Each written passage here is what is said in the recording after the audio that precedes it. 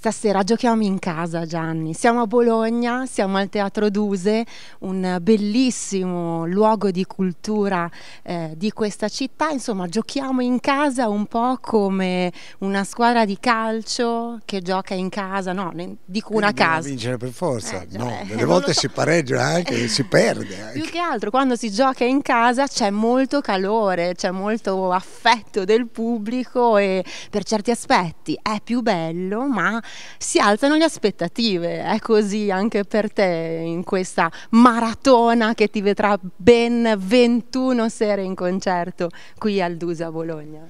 Ma direi che dicono che nessuno è profeta in casa propria, quindi io devo verificare quello che succederà, però da quello che mi dicono le, le- le prevendite, insomma, viene un sacco di gente. Io devo dire che mi emoziona perché qui, io proprio qui su questo palco, la prima volta che ci ho cantato è stato nel 1964. Mm, non 1964. Sai, ti sembra di parlare? Eh, No, ma in effetti no. sono passati solo 55 anni. Solo 55 anni, eri un ragazzino, sei ancora un ragazzino, l'eterno no, ragazzo, no, no. eh, il segreto di Gianni Morandi chissà se un giorno lo scopriremo. No, no, questo, questo non, eh, non passa.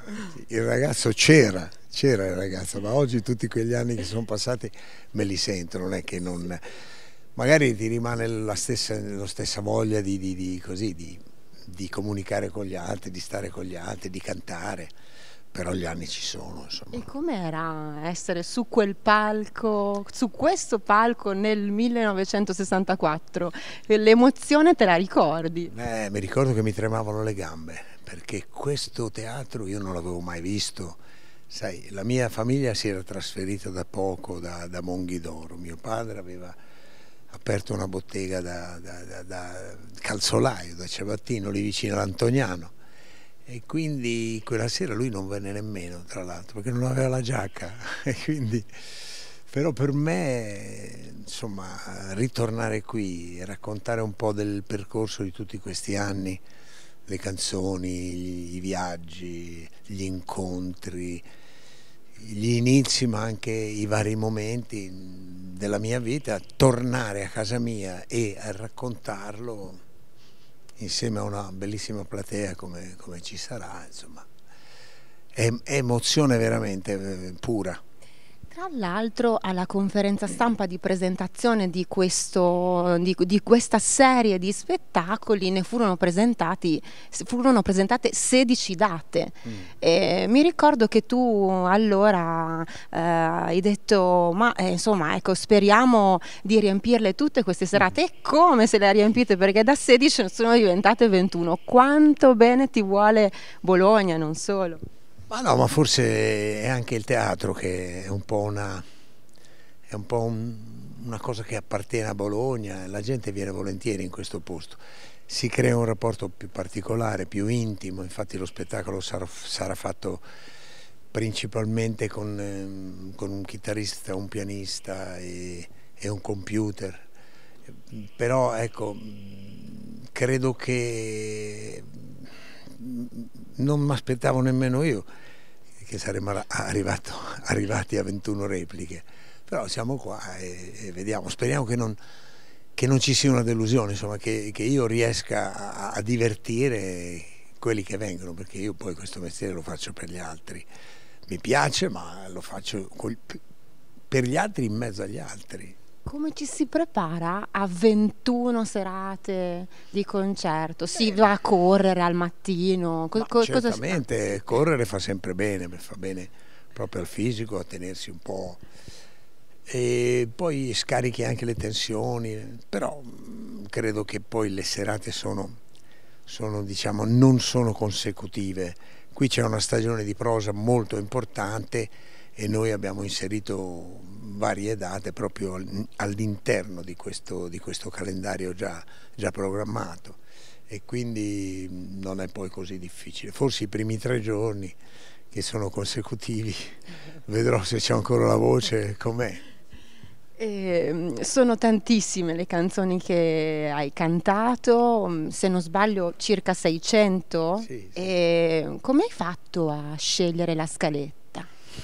Ma ci sono delle canzoni fondamentali che hanno segnato i momenti più significativi del, del, del mio viaggio, della mia carriera, diciamo così. E poi vorrei anche aprire una seconda parte dello spettacolo con delle canzoni a richiesta, cioè cambiarle ogni sera e sentire la gente magari ha dei titoli che io non, non, non mi immagino e cerco di eh, ricantarli. Quindi uno spettacolo un po' interattivo in cui insomma eh, ci sarà un po' di partecipazione del pubblico. Ma io spero di sì, spero che succeda qualcosa di, di, molto particolare, magari qualcuno anche sale sul palco, qualcuno racconta la sua storia, qualche ospite improvviso. Qualche un, dedica speciale. Qualche dedica, magari succede viene la signora che dice oggi sono 30 anni di matrimonio, ah bene, qual è la vostra canzone? Va, non so. Non è che organizzi come giovanotti i matrimoni pure tu. Eh. No, questo mi sembra troppo. Eh, tra l'altro una, una, accadrà una cosa molto speciale su questo palco, l'avevi detto che eh, avresti preparato un inedito per, ehm, per questa serie di concerti, l'inedito ci sarà, è arrivato, è arrivato porta proprio il titolo eh, stasera giochi in casa dello spettacolo a un autore davvero speciale, lo possiamo rivelare. E questa è, è, veramente emozionante anche per me perché pensare che mio nipote, che ha 24 anni, Paolo, Paolo Antonacci, che è il figlio di Marianna e di Biagio Antonacci, abbia scritto una canzone, perché le cose sono nate un po' così. Io cercavo di scrivere questo inedito insieme anche ad altri musicisti. Abbiamo provato, ma non riuscivamo a trovare mm, proprio la cosa rotonda, giusta. E un giorno io Paolo lo frequento perché lo vedo spesso, abita a Bologna. E gli ho detto, senti, ma fammela tu la canzone, me l'ho detto quasi per gioco. Lui mi ha preso sul serio, un ragazzo molto serio, lui ha già scritto per eh, Alessandra Amoroso, ha scritto per Ramazzotti, per Neck, per, per, eh, per Renga e diceva io ci provo. E io sono rimasto un po' così. Poi quando è arrivato e mi ha portato la canzone come l'aveva pensata, devo dire che mi ha toccato ed è, ed è una bella canzone, scritta veramente molto bene. Tra l'altro sentite anche cantare da lui perché lui canta, non lo dice ma canta anche un po'.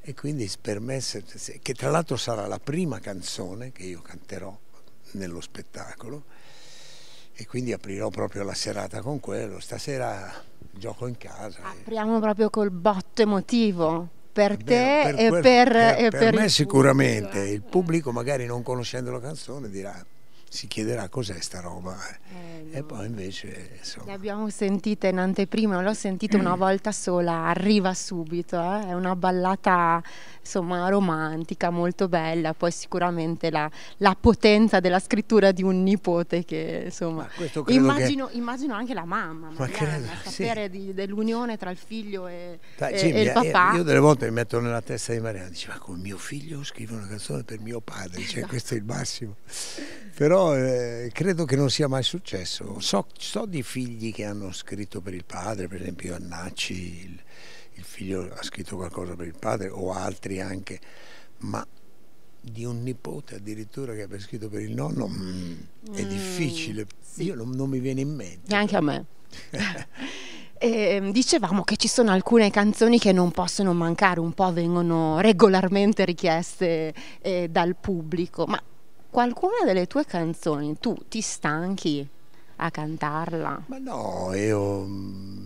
Beh, ci sono dei momenti, ci sono, dipende, ci sono delle, delle canzoni che canti in automatico, che vengono da sole, però se ti soffermi a pensare al testo, al momento in cui è stata incisa, al momento in cui è nata, beh, ripercorri anche tu un po' della, della tua vita, ti rivedi magari trentenne, quarantenne, ventenne.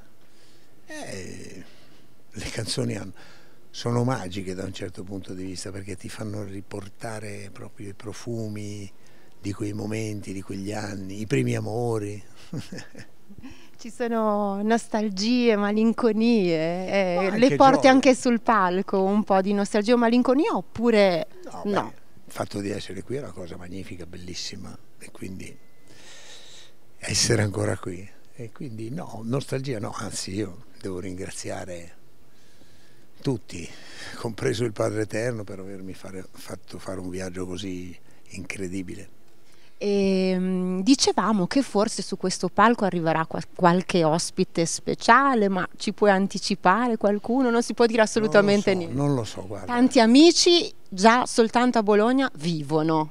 Certo, se passano di qua. Le porte io, del Duse sono aperte. Le porte del Duse sono aperte a chiunque venga a trovarmi. Se vuole venire un calciatore del Bologna piuttosto che un giornalista, un attore, un, un, eh, un, un, mio collega o di passaggio o di Bologna, magari nasce qualcosa di, così, di estemporaneo. Questo è un po' il clima che dovrebbe avere questo spettacolo.